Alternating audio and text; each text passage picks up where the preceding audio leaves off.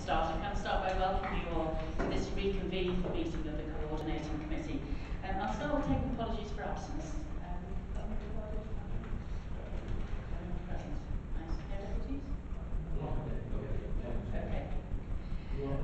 I think it would be helpful if, uh, oh, look, I only had a list of people who were deputising. It would be helpful for Andrew if we knew who wasn't here who was being deputised. I can tell you who's deputising who, uh, Chair. Um, Dave Delson is deputising for Chris Blakely, uh, Bruce Berry for Tom Anderson, and Jerry Ellis for Mike Hornby, and Dave Mitchell for Bill Rivers.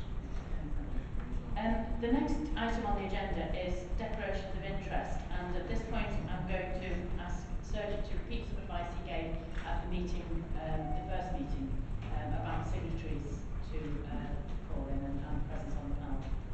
Thank you, Chair. Just to reiterate the advice previously, uh, members have asked that if they are a signatory to can they also participate in, in tonight's meeting? Um, the position essentially is that being signatory to calling doesn't preclude a member from also hearing it, hearing the same call. Members are also uh, aware that they need to be mindful of issues like predetermination, predisposition and bias, uh, and are required to have an open mind uh, as required under section 25 of the Prison Act, particularly in relation to predetermination. The mere fact that the matter has been called in is just an indication of the matter that needs to be considered and it's not a settled view being expressed by the member. Dave. Thank you, uh, Chair. As, as a deputy, but also a signature to the code, uh, I would like to note that I, under the Constitution, I am entitled to, to sit here and take part. I am here with a clear and open mind, and I hopefully will deliberate from it. Thanks, Dave. Um, the second part of the declaration of interest is, can you all reassure me that you're not subject to party work? I'm able to do that. Okay, thank you very much. Um, so I would like to, as I say, welcome you to this reconvened meeting. Um, one of the functions of this committee, for those you who aren't members or deputies to the committee, um, is that um, the coordinating committee, committee can re-examine a decision that's been taken by the executive um, when it's formally challenged by um, a number of elected members. And that having done that and take, undertaken a more in-depth scrutiny of the decision, can make recommendations um, on it. Uh, the process is called calling in a decision, and the call-in tonight um, is going to look at uh, the, a report that went to Cabinet on the 7th of July on financial monitoring. And the signatories to the call-in are particularly concerned about um, an element of the report which refers to decisions on funding to two particular projects supported by public health funding, those being forest schools and the Healthy Homes Scheme. Um, I think if there were members of the public, I'm going to, I'm going to assume that there is members of the public who are watching this one way or another, and I'm going to ask if they would introduce themselves. And I'll start by introducing myself. I'm Councillor Maureen McLaughlin, and I chair the coordinating committee. And perhaps we can go around that way. Um, Deputy Member for Council in Councillor Bruce West. Councillor West South. Councillor Jerry Ellis, also deputy. Councillor Steve Williams, member of this committee. Councillor Dave Mitchell, deputy. Councillor Jerry Williams, member of this committee. Councillor Walter Smith. Councillor Mike Sullivan, member of this committee. Councillor Beckman, member of this committee. Councillor Crispin Roosevelt. Councillor Heath, member of this committee. Councillor Brown, member of this committee. Councillor Paul Doughty, vice chair of this committee. Thanks very much. Thank you. Do you want to introduce them? Bear to remain anonymous. And Joe Moss, Council Committee. Okay, so we're going to start proceedings now by asking Councillor Stuart Kelly, who's the lead signatory to the call-in, um, to come forward and explain what his reasons are for calling in, in the decision. And he'll have five minutes to do that, and I'll be very strict, Stuart. Uh, equally strict with Councillor Davies, who'll come after you, who is the Cabinet lead with responsibility for financial decisions, and he also will have five minutes. Following on from that, we'll have the witnesses called, um, and I'll explain how we're going to do that when we get to that point. But um, Stuart, would you like to come forward? Thanks, uh, thanks, Chair. I'll, um, I'll just go through the issues. Clearly, uh, I've called in a fairly weighty report, but we really want to point out that uh, I was only really referring to uh, issues as far as the public health budgets are concerned, which is referenced on page 15 of the Cabinet's uh, recommendation. Um, sorry, page 21 uh, of the Cabinet's recommendation to accept the changes to the public health uh, budget. The actual detail is given on page 25 of your um, uh, of your pack of some of the uh, changes. Uh, obviously, when I saw the decision, I, um, I, sought further information, and, and, that's what uh, I want to present to the committee now. Uh, when I was asked about witnesses and things like that, I, I guess I, I, I thought uh, in my own mind that, that this was a grant given by the council to other parts of the council.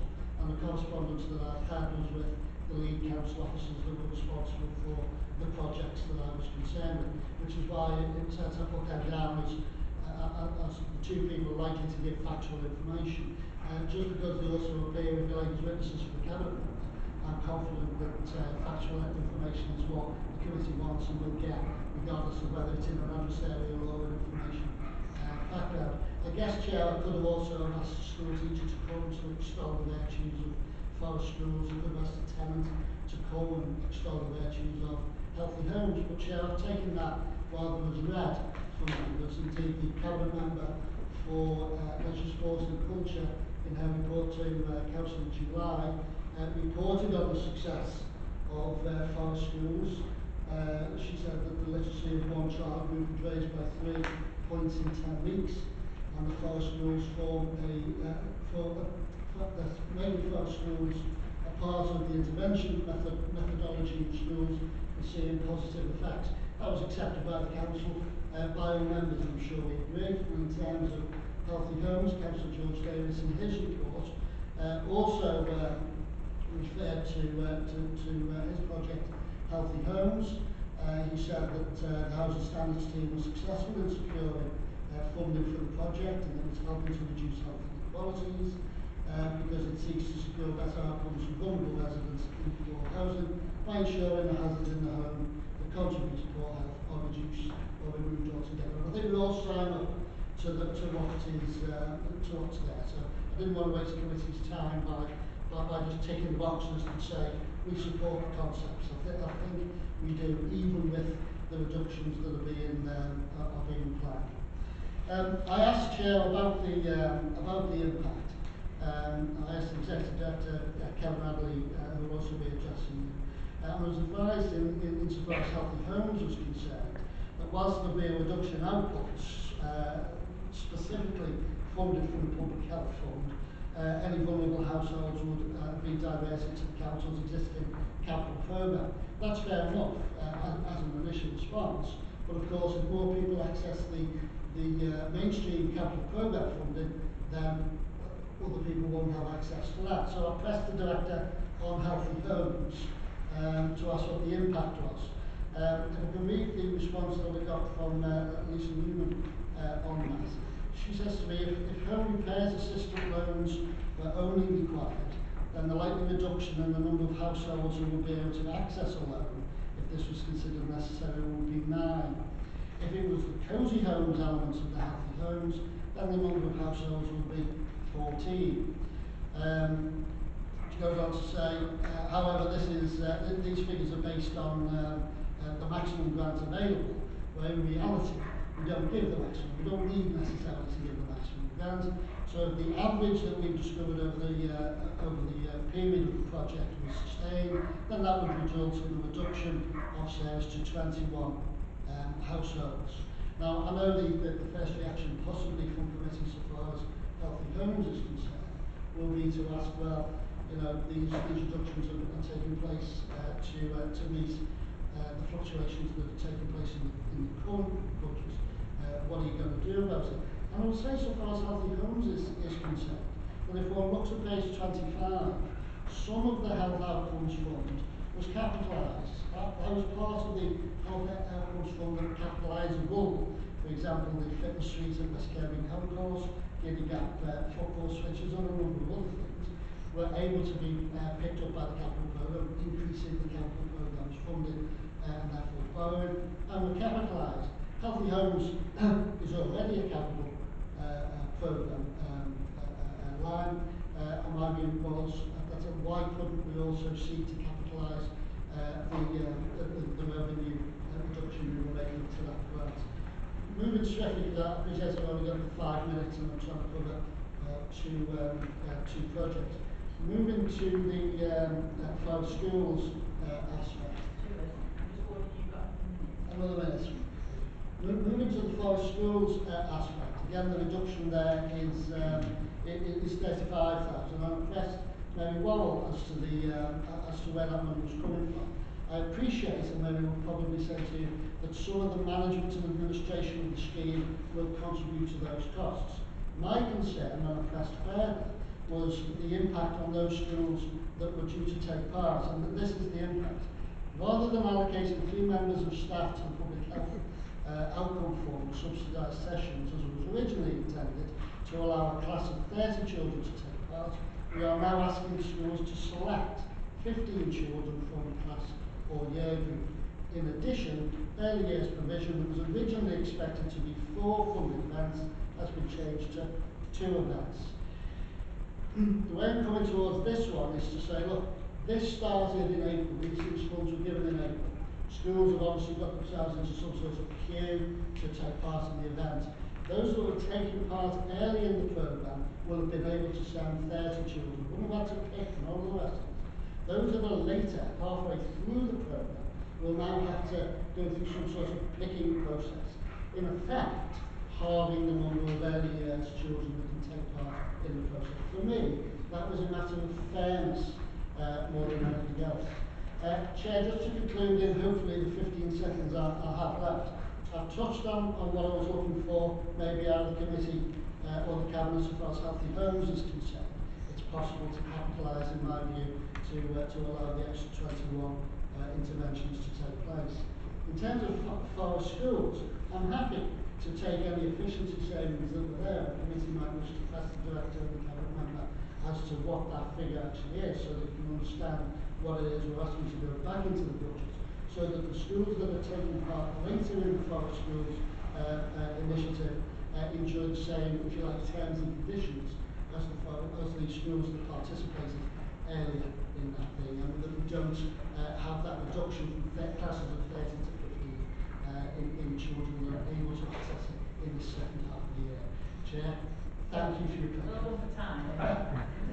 Do I stay Um, no, you go back to your place now, Stuart, and I'll ask Phil Davies, who's the leader of the council and the cabinet member with responsibility for financial matters from board. And you also, Phil, be strictly monitored to five minutes. Okay. Uh, Thanks, uh, thanks, Chair. Um, My, um, my response to the the call-in is as follows. Um, I mean, clearly, the, the, uh, projects that we're talking about tonight, um, I think it's just important to uh, remind committee that these were time-limited projects as a result of an underspending the public health budget identified in 2013 um, to be spent over two financial years, 13, 14, 14, 15, um, and must have public health outcomes. I think that was a key criteria. Um, what happened, uh, as uh, won't go into the detail of how the projects were selected, but there was a, a selection um, process. Um, after the successful projects were agreed, there was then a, a stock take uh, exercise where um, a review was, was effectively done of all the projects that were funded, uh, given the original funding, uh, to see whether they still needed that money. And that was in the context, Chair, of us as an authority uh, having to make um, significant savings as a result of central government cuts. Um, so we had to do that exercise. We had to leave no stone unturned in terms of looking at all budgets. Um, in terms of the, um, the, the list of projects in the cabinet, the, the report went to cabinet in July, um, a number of them were late off the blocks, therefore couldn't spend the whole allocation. A number of them um, were being rephased for kind of operational reasons. A number of them were being delivered by alternative budgets in an alternative way. So there was a stock take done um, of these projects.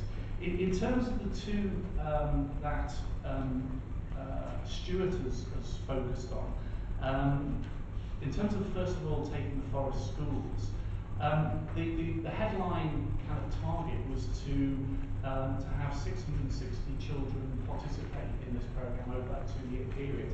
Um, that target was exceeded fairly early on in the, in the lifetime of this And, and my understanding is um, at the end of year one, um, over 700 children have gone through the programme. So a very successful programme, had exceeded the original target. Um, and therefore, I think there was a, a good argument for saying, because it started late, because it already well exceeded its target, does it, does it need its full allocation, or could that money be, um, be saved and contribute to our overall uh, savings challenge? I don't, uh, um, I don't accept the argument that the um, the children per class being reduced from 30 to 15 was because of the funding reduction. My understanding was that experience showed that, that smaller groups got a lot more out of the project, groups of 15 uh, than groups of 30, and that was why the, uh, the, that, that reduction was made. It was for um, for reasons for benefiting the children on, on the programme. Um, so I, I, I do not accept the that, that, that, that um, the, the overall uh, the original objectives of that, this project was affected by the, uh, by the savings that were, were agreed by Cabinet in July.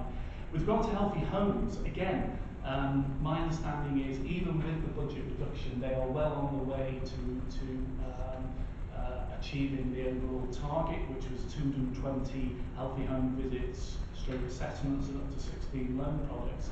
And I think in, in the case of this project, um, the, uh, the department uh, had a, a successful bid for capital funding agreed um, during the halfway through the programme of some 289,000, which enabled them to fill in the gap that had been caused by the budget reduction and, um, and effectively deliver all of the outputs that were originally envisaged. Um, my, my contention is, Chair, that on both the Healthy Homes project and the uh, Forest Schools project, I think it, this is proven financial management, frankly. I do, do not accept that this has um, meant um, that anybody has, has, has lost out. And I have real, um, uh, I have real concerns that even if, uh, I think Stuart's asking for the original budget to be restored, I am not confident that either of these projects could actually have the capacity to deliver more if, if, if this money was restored to its original budget. Um, I don't think it's necessary, and I think uh, it was a sensible decision that the Cabinet took in the light of um, all of that information. So um, my um, request really would be that you would confirm the, um, the, the uh, decision of Cabinet on the in July of this year. Thank you. Thanks very much. Um, now, we'll move on to the part of the meeting now where we call the witnesses. Now, um, as Stuart did indicate, both Phil and Stuart have called two people as witnesses, both expert witnesses, officers of the council. I don't intend to call them up twice and send them back again. So if we could start with Mary Worrell and I ask the committee if they have questions to ask of Mary Worrell, um, then please speak now during this process. And Mary, perhaps I could start off by saying, first of all, can you tell us what your role is and can you describe the Forest Schools project for me? Certainly. Um, my role is senior manager for Parks and Countryside, uh, starting in November. Um, the purpose of the Forest School fund, public health funding project was to um, pilot the concept of forest schools um, within the Parks and Countryside service. There was uh, several members of staff who had previous experience of forest schools believed that it could be a beneficial addition to opportunities available to children in the school.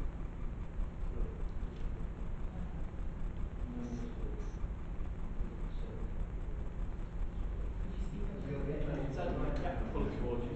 Full Full towards you. Is that better? Yep. Um, so, Forest School, a good idea, and this was an opportunity to see if it could be incorporated into the, uh, the mix of opportunities provided within parts of the countryside.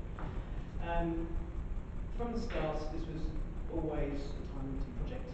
Um, the aspirations which were put forward in the initial bid made an assumption that the project would be up and running from October in uh, the previous financial year to this.